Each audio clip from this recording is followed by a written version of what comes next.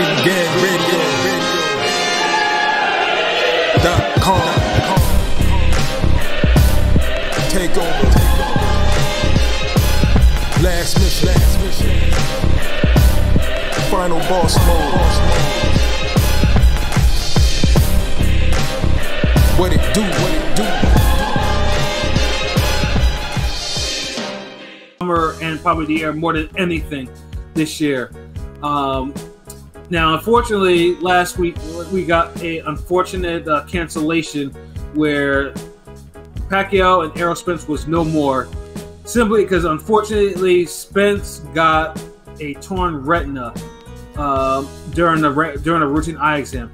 Now, the funny thing is too is me and Elby were talking about. I told Elby about this, and the first thing he, you know, he said is like, "Man, uh, uh, who's putting hands on him?" Like that's what, that's what, I think that's what everyone's saying. Like, who's putting hands on on Spence? Because there was a there was a video, a clip that's floating around, you know, that shows Spence not looking as sharp as he should have. But hey, it's it's it's sparring, sparring. So you know, you don't really put too much spark, you know, too much uh um, anything emphasis into that. You know, yeah, fighters do catch work in sparring. You know, even the greatest of fighters do. You know, and it's like, oh, okay, yeah, that's nothing. Uh, I mean, hell, I mean, we have, I mean, you remember Mike Tyson got knocked down by Greg Page prior for him losing to James Buster Douglas. You know, shit happens.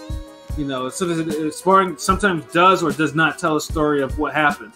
But in this case, you know, people were kind of, oh no, that's just sparring. But then you see that Spence got a torn retina. You get a torn retina, that means someone was putting some hands on you, consistent hands, for him to tear your retina. You well, know? I mean, also in, in the mugshot of you know his accident, one of his eyes looked pretty fucked up. No. Yeah, and, oh. and this and, and but the thing is too is like I mean they're supposed to do the exams like I mean if, if the, for the type of car accident that Spence had like I mean they there should have been an up and down thorough examination of his injuries, especially his eyes. Like oh, now see, I heard something about that. I don't know who somebody posted on Twitter. They were basically saying if it happened due to the uh, accident, the Texas commission isn't as thorough as the Vegas commission, so he probably had it in the Danny Garcia fight too. Yeah, and it, and it probably and it probably would make sense of some of the shots that he actually got caught with by Danny Garcia too, as well, and how he reacted to it. Yeah, yeah. But yeah, and, and, that's another thing too. Like, and, and here's where I, I mean, not I mean, obviously with torn retina, like if you know eye injuries, like a retina is a very serious injury. Like it's not injury that you can just be like, okay, you come back. Like the the best of fighters have had their careers altered or ended by retinal injuries, whether it's a retinal detachment or torn retina or whatever. Like because retinas, you need your retinas to actually see people. Like and so people when people are talking about, oh, you know, Spence will be back in six months. Like, do you not want this man to actually be able to see out of both of his eyes. Like, really? you some idiot saying that he was ducking. I'm like, oh, that, yeah, he was faking. He was ducking. I mean, who, who fakes an injury uh, like that? Who like, fakes an yeah, eye injury of all things? Who yeah. fakes an eye injury for the, your biggest payday of your career against a 40 year old that you should be able to beat? that you the favorite, yeah. Yeah, exactly. Yeah. This, this, is why you gotta filter what you hear in boxing because you hear you'll hear a lot of stupid shit like yeah. that, and the like, quick fix wow. Ugas shit's a little suspect. I mean, I, I am not knocking. I mean, this the Ugas thing. Maybe because I'm reading too much too much boxing Twitter. Yeah, well, it depends. Like, I mean, first of all, I mean, I mean, to me, like, it was between that or people that think that Spence is like, you know, Spence's career is not in jeopardy. His career is in jeopardy, people. Like because and just like LB mentioned before, like there are commissions that are not as thorough, and there are commissions who are super thorough, like the New York Commission. Like they they they, want if you had like any if you if you had like laser surgery, they they're, they're on your ass about it. Like you know, much less a torn or detached retina. So it's like you know, I mean, thankfully it was caught. You know, so Spence probably has a good chance of recovery but you should people should not want him to get back in the ring soon. Like they should let him let his eye actually like heal properly because you don't want him to have uh have a, that Abner Mares look or a, a Antonio Margarito look or end up like Lamon Brewster or Israel Vasquez or yeah or, worst case scenario Israel Vasquez. Although Brewster's uh, condition is damn near almost the same, really. Yeah, the, the only difference is, I mean, I think Brewster, from what I, because I, I do follow him, because he'd be saying some stuff sometimes. Brewster's, he, he has some vision in there, but it ain't like clear vision. Like you could tell, like, if you if you see his picture of his eye, you, you could tell it's still cloudy. You know, it's. I mean, his eye his eye will never be the same. And Antonio Margarito, his eyes are all like it, it looks like he actually has a fake eye because it looks like he sees a ghost every day.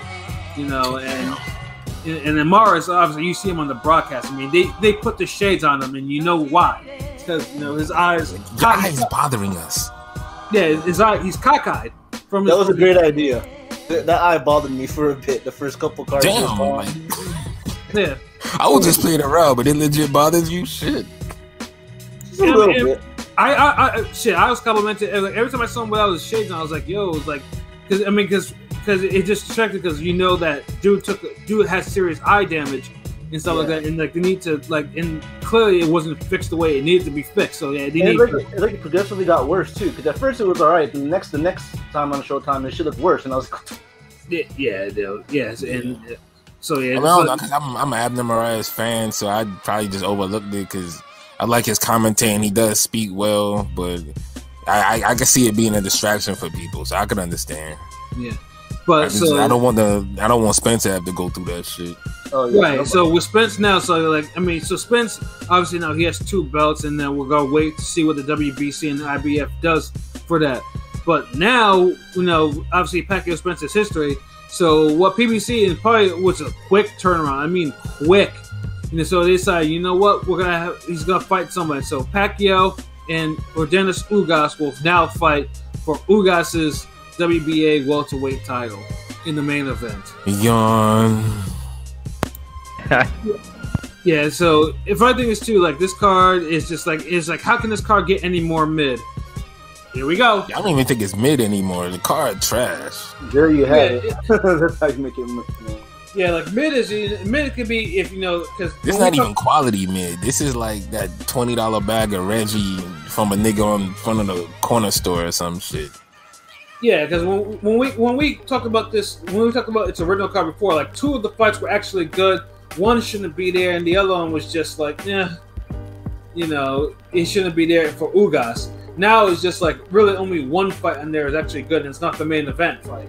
You know and and then we and then we're still getting you know Ortiz versus Guerrero and shit like that and PBC trying to ruin itself. Y'all getting two guys, two Cubans who are known for putting on shitty dud ass performances in back to back main events.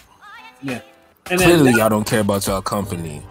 and then now, of course, I think the only fight that got that, uh, that, got upgraded was the fight that was supposed to be on Uskateki Benavides, which is no more. Uh, Castro and Escandon, you know, is just like you know, which is not.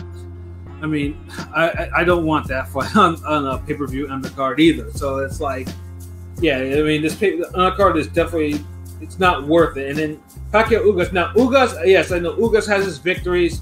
He has the belt that Pacquiao wants back or wanted it back via you know um, decision by sanction and body stuff, getting it back in the ring because he got stripped. So I understand it because it actually closes up that that little retarded WBA loop that went that went on between them.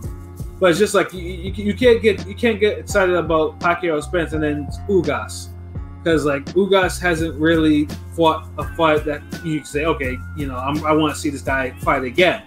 I mean I think He's doing the whole uh, Amir Khan shit. Let me just fight decent opponents until I could get a big fight. Trying to, but Khan was at least fighting decent opponents. Like Ugas is literally fighting like bottom of the barrel ShoBox opponents. Yeah, like I mean, the last time we saw him fight, I mean, he he fought Abel Ramos and he won a split decision over that dude, and he's and he got rocked and he got rocked by him a couple times in that fight. So And this is no shit to Ramos because um his his nephew is good. His nephew's is another young fighter that need to be getting in the mix now. Um, right, but it's just like, was naming guys earlier, but um but it's, it's just like because Ugas has not shown the type of separation, at least that the other welterweight champions. a, have- a split decision over Abel Ramos. Yeah, and then you know, and then just going down his, pu- I mean, going down this BoxRec. You know, obviously we, the Mike Dallas fight.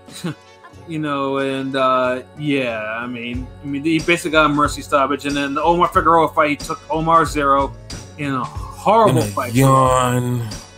and then the Porter fight, which is what he's really known for. You know, Porter. You know, obviously, Having a glorified, it could have been a draw type fight. yeah. But most people thought he lost. Most people thought he won. And this is where I think this is where a And lot of everybody thought he just looked mid. Right. Yeah, and, and, and unfortunately, this is where people think, okay, he's a top, he's a top welterweight. But if you go a couple years more back, you know, dude went life and death with Thomas Dulorme in a fight that he probably should have lost or could have lost. You know, so it's like one. So yeah, he's, and then he has the Jamal James win, which is, which in hindsight is probably enhances his resume a little. Yeah, that's his best win, and we don't even know if he could beat a Jamal James in a rematch right now. Right.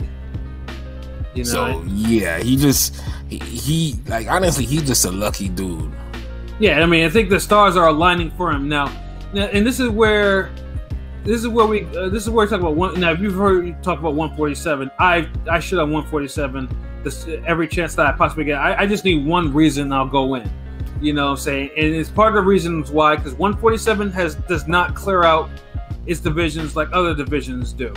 Like You have a 147 legit division full of fighters that are young and upcoming prime, and the, and the other half is the old, inactive. Like you know, I'm a Keith Thurman fan, but dude, like he this dude needs a fight like yeah. like uh Taylor Ramirez needed promotion.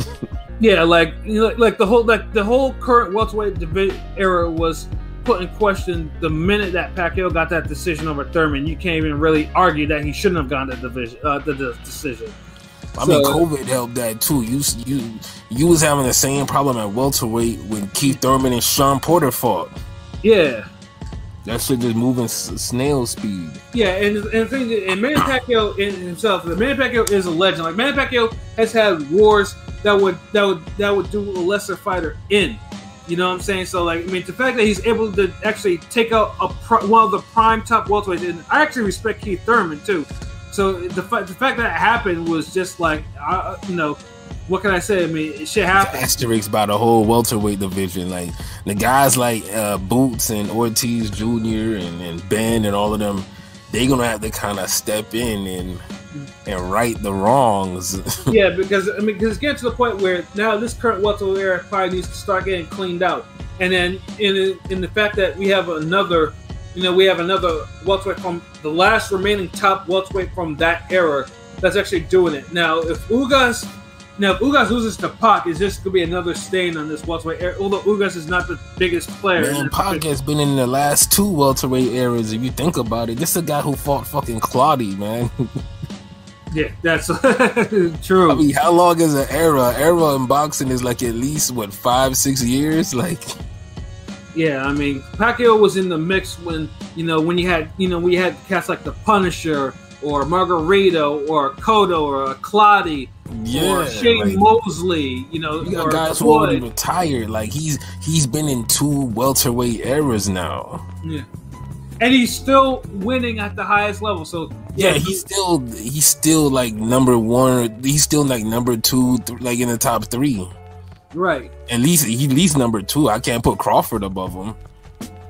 And if, Yeah. if you you could put Spence above him if you want, but Pacquiao got the biggest win at welterweight, so you, you could clearly see you could say he's the best welterweight right now if you wanted to. Yeah, and, and, and, And I don't think no one will be, you know, I don't think that's an argument. except unless you're unless you're a Spence stan or a Pa- or a Floyd stan, or you just don't like Manny Pacquiao. We Yeah, got we got to keep it a buck. yeah. You know what I'm saying. and, Manny and now we get the Ugas fight, and it's like, oh, Yeah, because I mean, because styles make fight, and this has a fight to be really stinky. Because if Ugas does not let, I mean, Ugas, I don't think, I mean, Ugas has never been knocked out yet. He's been he's been put down before, yeah.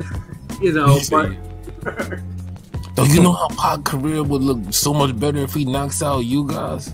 yeah, So Ugas got no chance then?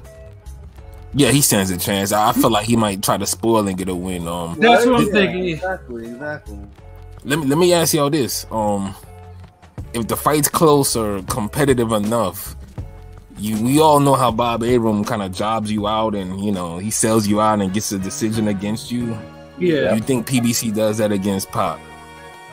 Well, due to reaction to Pop thinking that it might be his last fight, so if that's the case, I could see him, you know, Yeah, I mean, favorable side of things. I mean, it depends if they, if they actually want. I mean, if they actually want to put their chips behind Ugas and try to build them up, maybe for whoever, you know. I mean, Because who, it- who, it's who in he the got to air. fight Thurman afterwards, or or or Sean Yeah. Porter or somebody. Sean Porter again. Yeah, I know Porter. You know, Porter. Porter doesn't actually. Porter doesn't even want. It doesn't want the rematch. I'm pretty sure he doesn't. I don't think he said he was too eager to get back in the ring with him. Ugas does. Because it's a shit fight. yeah. Yeah, that was, Yeah. that was So I mean, if it, I mean, I can see it happening. So I mean, but um, but it ju- just is because it's Ugas. Like I, I have a hard time thinking that. I don't know. Why does it have to be? Yeah, 'Cause this the reason why the reason why Ugas has a chance is because first of all, he's in his prime. He's big. He's physically strong. He's much taller than Pacquiao. He has the reach, and he's moderately skilled. right. And when you add plus XP uh, from being in the parentheses uh, quotes uh, Cuban style of school of boxing, I, Jesus. I heard all that. default Sar- I heard all that sarcasm, bro. I know. I know. So so yeah, Ugas does have a chance. This is the fight of his life. Like yeah, look, if sometimes if you're lucky, you want to push your luck. Him pushing his luck will go would would be in his favor. If he tried to fight balls to the wall and try to just run over Pacquiao and overwhelm him, he could very well win or get clipped. or What? It's or. better to do that than try to just do just enough to win and then complain on, on Twitter about, hey, you know, judges don't know my boxing. They don't understand right, my boxing. right. And now you don't you put a big steamy polished shit on the top of the welterweight division. Hey. And now we're gonna be looking for Vergil Ortiz and boots to clean y'all the fuck up. Oh yeah, we've been begging for that shit. So you you know like that's what we're looking at here. Um, but do I think uh, I would you know the smart man will put a little something on the fuckery upset of uh, Ugas winning. Mhm. I haven't seen the odds, but um, it's definitely worth a little you know something just to see because Pacquiao has to be the most robbed great elite fighter in my lifetime. Yeah, Yeah, So you know, third time's a charm. It might happen again. Who who knows? But uh, Pacquiao should win a decision over dude. You know, 116, 112, or, or 115, 111. He'll probably drop Ugas too. yeah. Like I mean, I'm thinking it'll probably be like a 116, 111 for for Pacquiao decision. I would love to see him damn knock him out though. Like Yeah, that'd be crazy. And then people gonna want a Crawford Pacquiao fight. But then I'm just like, eh. Been there, done that. Y'all been hyping that up. Just fight Ortiz or Porter. yeah. Because you have to realize something. Manny Pacquiao has beaten what I think I think 24 world champions in his career, and you know, Ugas would be 25. Yeah, to knock him out. Yeah, Yeah. that's. man. Yeah, like they, they ain't too many fighters out there that's beating 24 world cha- guys that have been world champions. You know, especially Yep. so. I mean, Flo- Floyd might be might might be the other one, but you know, it's different scenarios right there. Um, so Like yeah, Floyd had like what 21 or was it 18 or 19? It's, something like that. it's it's a high number. I don't know if it's more than It's, it's pretty high. It's pretty high. I know it's above 16. I remember reading it. Yeah, I don't know if I don't think it's 24, but it doesn't matter. It's just a lot of good fighters. Yep. Absolutely. So yeah, I mean, I, I mean, I definitely like. I mean, I would definitely love to see Pacquiao stop Ugas or whatever. But I don't want to see Ugas start, you know, start fighting Stinky because he, he, he, he, he's very capable of doing that. I Actually, mean, it's 24. Sorry, let me interject, but yeah, Floyd is 24. Oh, Floyd got 24. Oh, okay. Yeah. okay, okay, shit. That's what's up. Yeah, that's what it is. So, so, yeah, it's like I mean, this is yeah, I mean, and Pacquiao. I mean, like I said, I mean, we're not gonna get So they tied get up then. Yes, they are. And yeah, Ugas would Ugas would you know he would be the he'd, he'd break that particular record. Just imagine if it was Spence and he broke the record that way. You know what I'm saying? Like that is so close, but so That's crazy, man. If Pacquiao, we said it last week. If Pacquiao was to beat Spence, he's top five boxer of all time. Like, Yeah, I maybe mean, he, top three. Like, beating Thurman and then Spence back to back. Like, are you fucking crazy? and taking their zeros. Yeah, there's yeah. I mean, at his age, fuck, man. like you'd have a hard time trying to say that yeah he's he, he, he's not top five or top ten of all time like especially at, at, at an advanced age at that You know, there's no way he's made his campaign strong. He's he's always he's gonna. I mean, he's already in the history books, but he just Yeah, I, I so. mean, I mean, dude, dude is a first ballot Hall of Famer. Like, I mean, there's no question. Yeah. But when his career is over, He t- he top fifteen right now to me, like top Yeah. twenty at the minimum. yeah, it's an amazing career. Now, now, if Ugas, how now Ugas does not only defeat defeat Manny Pacquiao legitimately and decisively, then yeah, we'll give him his props. Like, we'll straight up up and down, we'll give him his props. Like, this, like it ain't no reason to hate. Like, I mean, it's just like I mean, if Ugas can do it, pull it off legitimately, and we all recognize it, then yeah, Ugas will get Ugas will get all the props in the world for, for pulling it off. And Yeah. for and then, but then this will also be another case of somebody taking Errol Spence's work because we all get Errol Spence's. The unfortunate thing with Errol Spence's and his best wins is either they either is that most people have, have already done it or they've already done it better than him. you know, and that's the one thing. So it, it would be unfortunate. Um, So so okay, hold on. Pilot PJ, like y'all I know we me and Pat gave our predictions, but like what what y'all see this Pacquiao uh Ugas like what's y'all prediction? Um, the one thing I would say for this fight specifically is it really depends on how Ugas wants to approach the fight.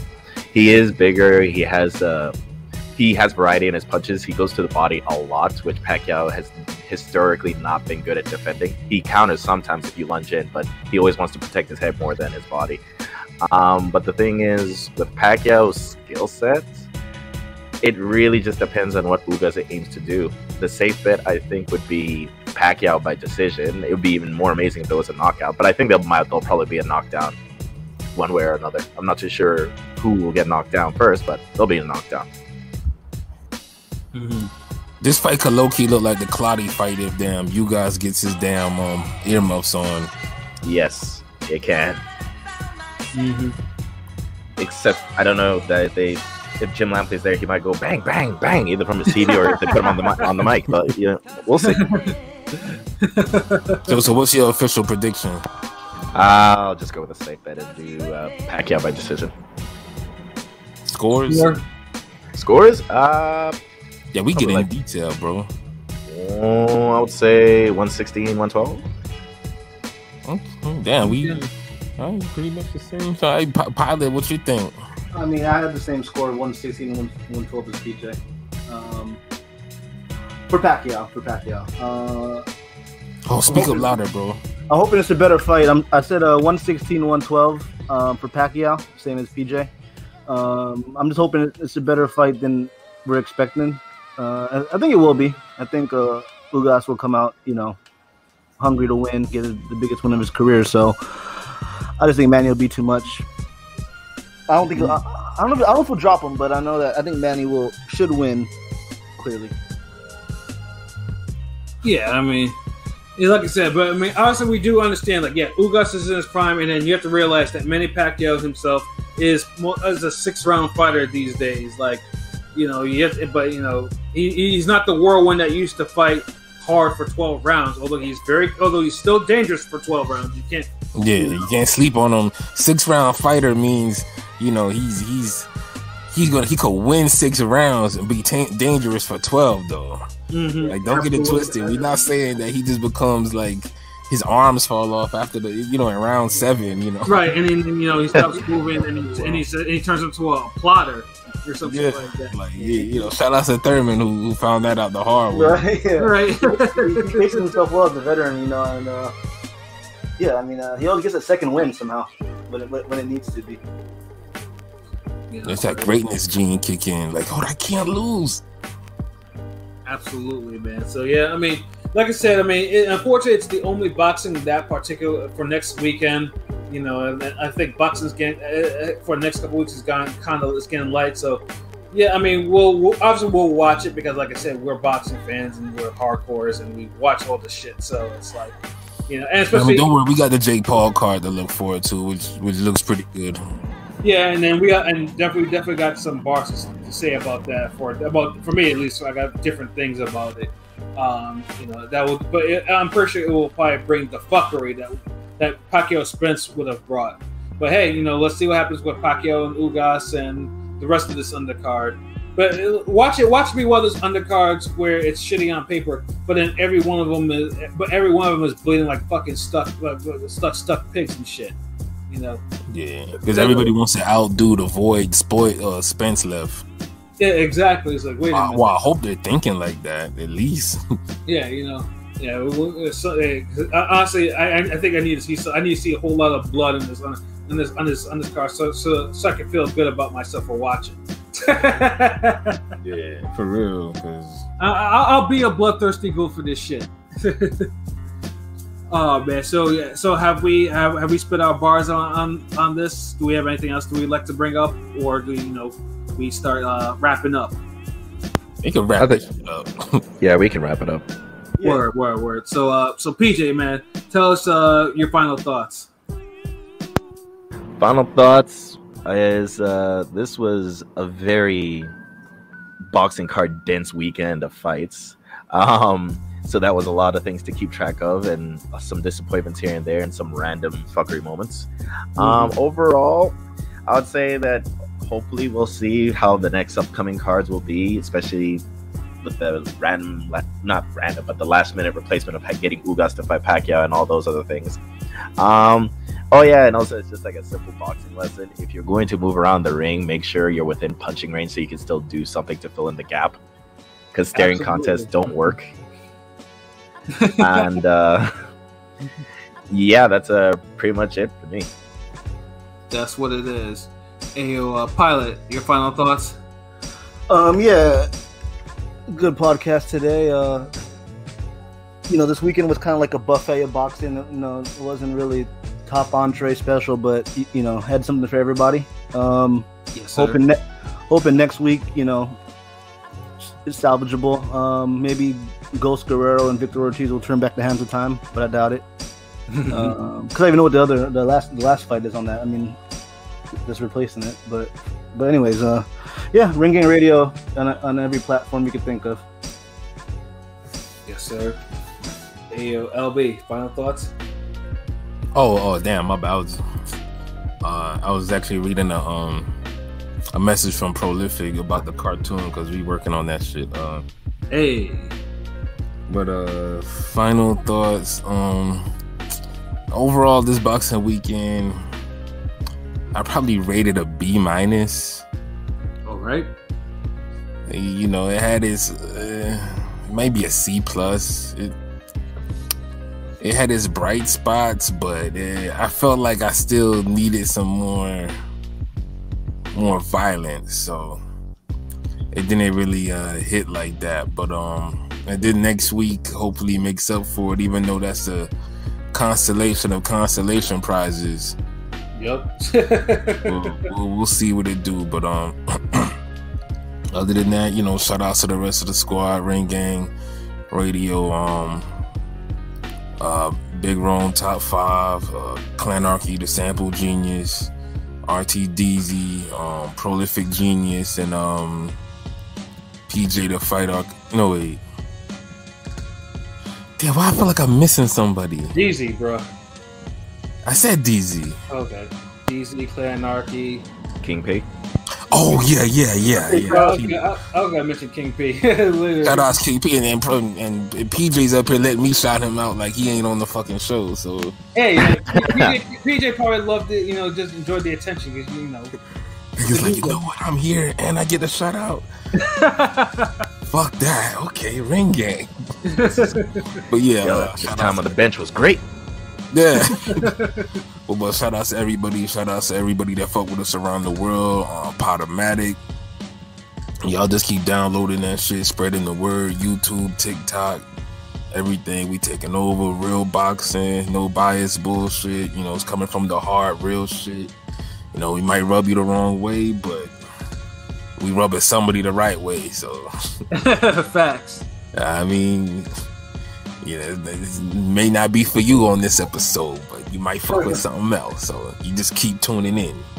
Absolutely. But other than that, um, peace. We got some uh, big shit in the in the plan, so just stay tuned. Yeah, absolutely. I, I definitely, obviously, I cannot wait. Uh, so for myself, I mean, obviously, shout out to King P. I know King P. You know, he was out here doing his thing. You know, doing his thing today. You know, but uh, yeah, you'll definitely hear from him, like you know, you know, later on in the week or next week or whatever. Um, but yeah, you know, definitely, uh, yeah, Podomatic, yeah, Podomatic went crazy. Good lord, I mean, it, I mean, it feels good that people that's out there that love our stuff like that. But yeah, if you, but if you're one of those people, yeah, let us know. You know, like I said, you know, let us know, man. You know, because we, we definitely we definitely like to engage with someone with our list, especially if someone who, who clearly people who enjoy our stuff, just just looking at our stats. And then obviously, you know, uh, we have that and Anchor, and then we have TikTok and you know the Google, Apple Podcasts, all that, and especially our YouTube and our website. You know, yeah, definitely, you know, especially at YouTube, man. Just sub to our content, you know, and we, we got the best shit out there. You know, tell your friends about us, and so their friends can tell their friends, and then we can all be friends.